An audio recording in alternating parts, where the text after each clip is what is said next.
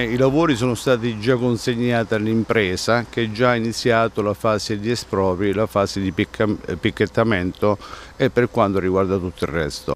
Il sindaco di Manoppello, Giorgio De Luca, insiste sui vantaggi che tessuto urbano e comunità di Manoppello Scalo avrebbero nella realizzazione del mega progetto di raddoppio della linea Pescara-Roma e spiega che a convincerlo rispetto alle iniziali perplessità è stata principalmente l'impossibilità di percorrere strade diverse dal progetto iniziale presentato dai tecnici RFI e in secondo luogo il fatto di essere riuscito a ottenere per il quartiere di Manoppello Scalo interessato da una raffica di espropri di case che dovranno essere battute, delle migliorie che rappresenteranno una svolta e garantiranno un salto di qualità in termini di arredo urbano e viabilità.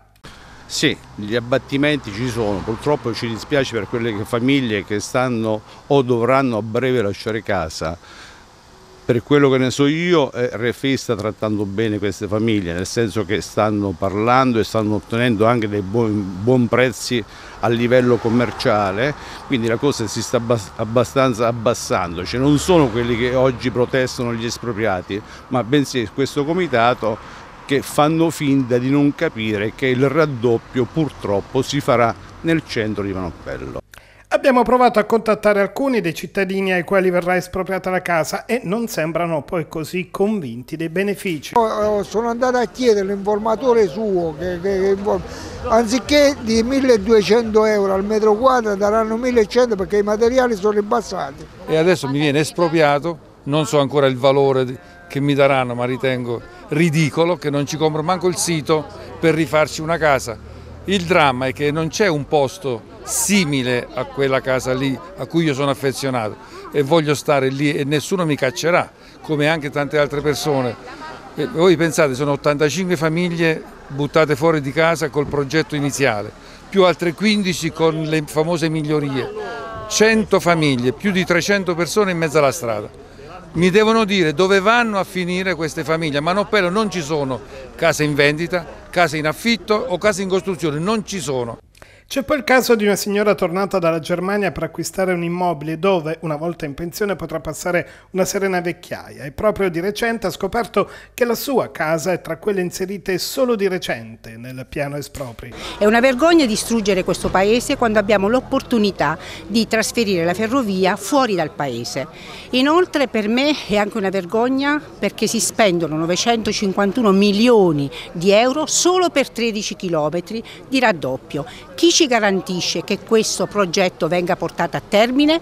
E allora mercoledì 23 ottobre di nuovo tutti in piazza per chiedere ancora una volta che venga presa in considerazione la variante Plus, un progetto non improvvisato dai cittadini ma esistente addirittura dal 1995. Non è un progetto fatto a casa, ma è un progetto già presentato dai vecchi sindaci ad RFI con uno studio di fattibilità, con un finanziamento che era in fase di approvazione per spostare la ferrovia sul fiume Pescara. È vero che sono cambiate le leggi, è vero che le sondazioni, è vero tutto, però la comunità sa che la ferrovia doveva andare lì e ha dato parere favorevole all'Interporto. L'Interporto è stato escluso da questa cosa, non verrà agevolato in nessun modo verrà semplicemente raddoppiata la ferrovia con la distruzione del paese, con la creazione di barriere e di altre cose obbrobriose. Intanto il sindaco De Luca auspica un confronto pubblico tra Confer, amministrazione comunale, RFI e Regione per fare definitiva chiarezza. Sarebbe importante fare appunto un tavolo di confronto con RFI, il comitato, il comune, la regione per pianificare Manoppello e capire i, eh, diciamo, i, pregi di tutto quello che può avere questo raddoppio ferroviario fino a Roma. Non ci dimentichiamo che Avezzano sta aspettando questo raddoppio da anni perché lì sappiamo quanti pendolari vanno a Roma tutti i giorni. È importante per tutto l'Abruzzo che questo vada portato a termine in tempi più brevi possibili. Noi vogliamo un confronto se c'è una soluzione si parla di variante perché sono dal 2000 gennaio 2022 che cerchiamo questi confronti. Casomai, come mai sono arrivati proprio oggi? Quindi vuol dire che forse di qualcosa si può ancora parlare. Si può parlare se si parla di varianti e di soluzioni per il territorio, condivise con i cittadini. Mi chiedo come mai adesso vuole questo confronto quando ci ha impedito nero su bianco di partecipare ad altri incontri. Però ben venga, siamo sempre a disposizione, ma che non sia una perdita di tempo e un'altra presa in giro.